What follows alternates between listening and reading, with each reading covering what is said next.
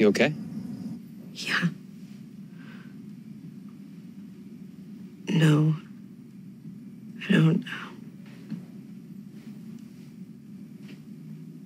I don't know why I'm calling you. Yes, you do. Why? Last night, That was just me getting information. That was me picking your pocket. you understand who I am, what I do for a living. I'm command, Liv. Was command. You never stop being command, Liv. That's the dirty little secret they don't tell you when they're stealing your soul. I'm command. I'm always command. That's that's not the point. What's the point? The point is that I'm good at my job, and part of my job is reading people, reading situations, knowing a landscape. And I was there in that bed with you last night. I felt that. You felt it too. We were there together. We we were together.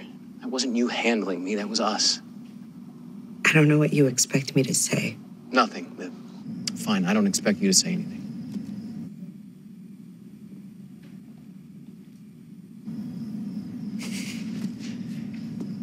Tell me you felt it too. Tell me I'm not crazy. Tell me you felt it too. My father killed my mother's lover tonight in my office. Just like it was nothing. Like it was Tuesday. He just. There's a dead man lying on the floor of Olivia Pope and Associates right now. Liv. And the thing is, my mother could have saved him. She loved him. I think she loved him. When I was a little girl, my mother used to take me to this playground, and while I would play on the swings, she would sit on the bench and talk to this man. They'd laugh.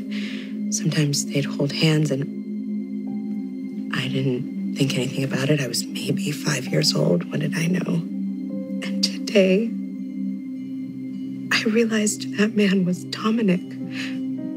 She loved him my whole life. And when the time came to save him, she let my father kill him. I don't think she can love anyone. I don't think there's room to love anyone in her world. You are not your mother. I know that. You don't think I know that? I know that. But it must be nice to, to feel nothing, to care about no one. It must be easier. Tell me. I love him.